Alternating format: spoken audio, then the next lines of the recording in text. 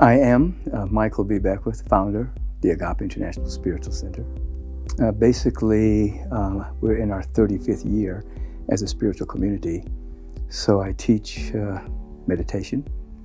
I teach um, spiritual practitioners how to how to how to counsel. It's a broad-based spiritual community that has uh, tremendous uh, diversity and inclusive, inclusivity, and it's worldwide. And I've been doing this for over 35 years.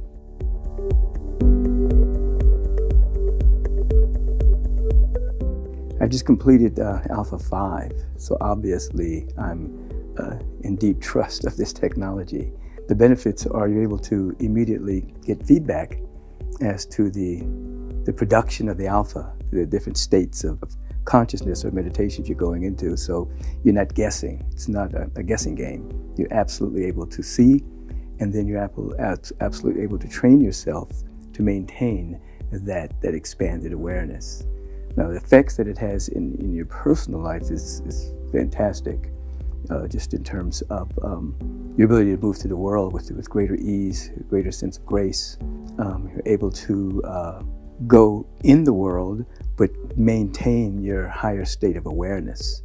Oftentimes, people are pulled by the world. The world determines their moods. The news, the news determines their moods. Other people determine their moods. But once you have a level of um, dominion over your attention, then the world can't determine your mood. You are sovereign being and you determine your own mood uh, based on your, your spiritual practice. So this assists with that.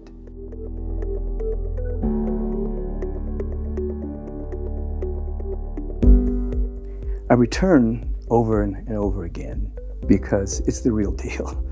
because as I said earlier, you get immediate feedback. Days gone by, if you had a Zen teacher they were very uh, sensitive and they could perhaps pop you with a stick at a certain point on your shoulder if you drifted. But with this technology, the nanosecond feedback you're getting is the right use of technology for expanded awareness. So, you know, I have a meditation practice, obviously, but coming here is not only a, a, a retooling, but it's actually creating a, a new baseline of expansion.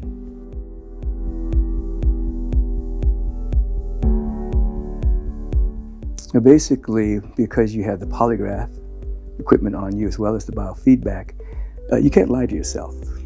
So you end up seeing what you need to work on. And when you uh, place your attention there uh, and begin to confront it and dissolving it, then there are other layers that are there that you have tucked away from for many years. They begin to surface, and you're able to work on those samskaras, you know, those those wounds as, as well. And so it's a constant, continual clearing and cleaning without guilt, you know, without a sense of foreboding about it.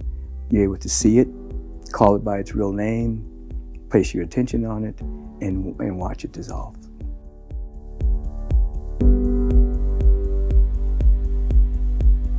Yeah, uh, when I first arrived, uh, you know, I've been carrying a heavy load for a few years, dealing with some personal issues, and and obviously we're most of the world's under a lockdown, and you know, there's a lot of ramifications of everything we've been going through.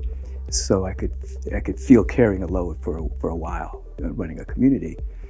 After the first day, there was an immediate a release of uh, toxins you know, an immediate detoxification took place, and I could feel my energy just being buoyant again. It's like, whoa, I'm back. and that was just the first day, you know. Uh, and so, you know, obviously, when we got to day three, that was a little difficult because the, the egoic structure was kicking in a bit and trying to block some of the insights that were occurring. But smooth sailing after that. And even though, you know, we're having this interview I don't know what time it is, it's possibly early in the morning, I still feel a tremendous amount of buoyancy and energy.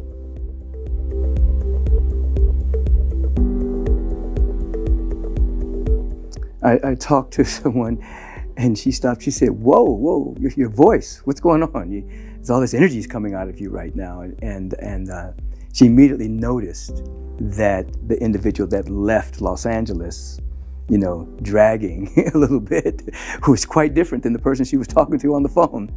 And then immediately we were, there was you know, some things going on in the community that needed some my attention. And I immediately went right to the solution without hesitation and said, this is exactly what we're going to do. And she said, oh, wow, it's a good idea. I'll get right on it. You know, so there was a tremendous clarity and energy at the same time. And it didn't, it was, it was effortless. It was just, just bubbled out of me effortlessly.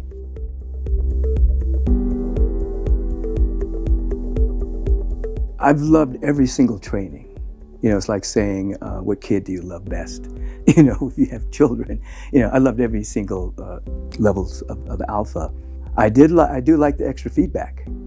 I do like the extra feedback. I even like the feedback of the ones I wasn't even supposed to get until later, until Alpha 6. But I, I, like all that feedback. I think that when you, you, you get the feedback, you're able to um, expand your awareness and actually assist in your own expansion.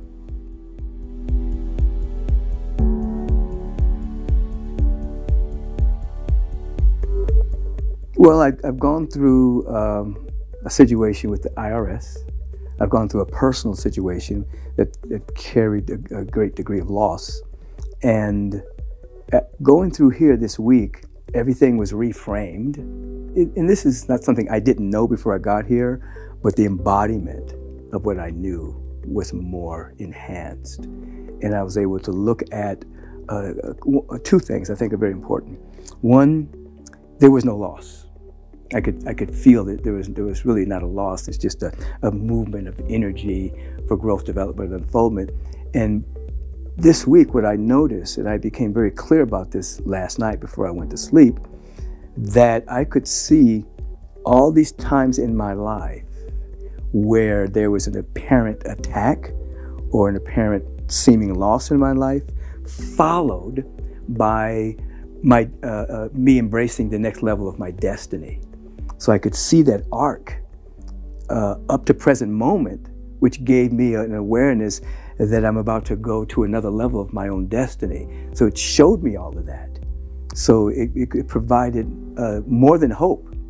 It provided a deep uh, uh activation of my faith that that one, the universe is progressive, and when we and it's participatory universe. So I'm participating in it by working on myself, so that I'm not really carrying any foreboding or rancor about what apparently happened to me because nothing happened to me. Everything happened for me, but I could feel it in my bones.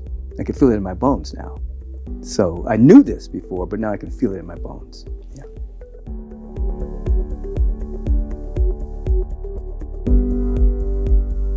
You're going to really change. If you do it, it's not an, an, an uh, observer situation. This is a participating technology. You're going to change.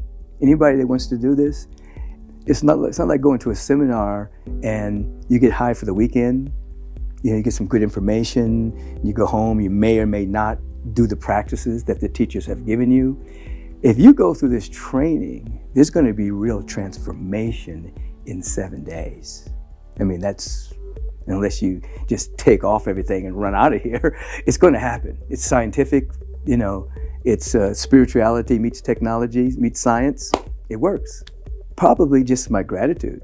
I'm just very grateful that the technology exists. I'm grateful that I get to work with uh, Jim Hardt, who's a, genius and uh, you know pioneer, the, the pioneer in this field. I know there's some knockoffs running around out there in the world, but this is the original and this is the man. And, and if anybody wants to do this kind of work, this is where they should do it.